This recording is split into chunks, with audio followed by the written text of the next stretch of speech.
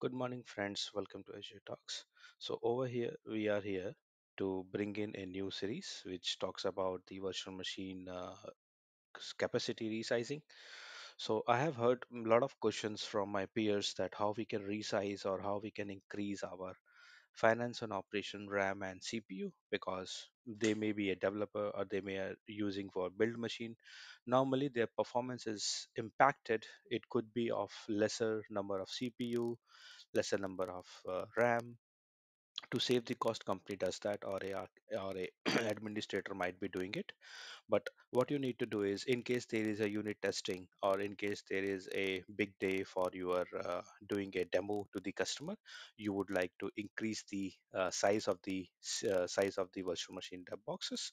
So that's absolutely possible. Uh, there are two methods I am focusing on the second method. First method is go to the LCS, delete the virtual machine which you are having. Oh, make sure that you are having a proper backup of the machine if you have already done some customization. Okay. So the second method which I am talking about is the best suited. You don't need to delete from the LCS cloud hosted virtual machine. What you need to do, go to the Azure. You should confirmly have the access correct roles to resize the virtual machine what you need to do is you need to go to the virtual machine select your virtual machine which you want to resize which is taking part in testing unit testing or uat maybe uh, demo to the uh, to the customers come here and then try to go to the resize in the into the portal.azure.com and then select the proper machine which you proper size of the machine in which you want to see your proposed virtual machine. So right now if you see i have b4ms i want to go with b8ms which is this or b12 so let's go for a higher or super higher as b16 and click on resize.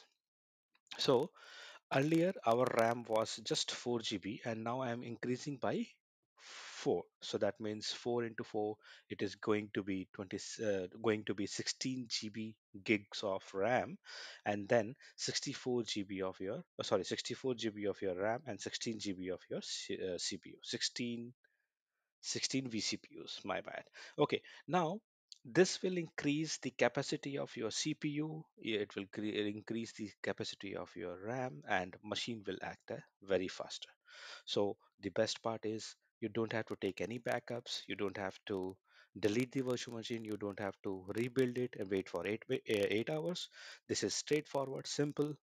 If you're not having access, call to talk to customers and ask their IT team to to do do the resizing. If they if if they don't uh, know how to do the resizing you can share this video to them. Thank you very much. Do like this video and subscribe and press on the bell icon. Thank you very much